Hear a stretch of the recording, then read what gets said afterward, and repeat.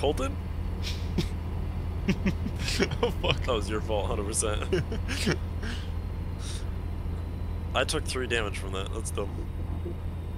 You weaved? You weaved on the. Bro, you went in and out of him for no reason. I was not gonna make that corner, bro.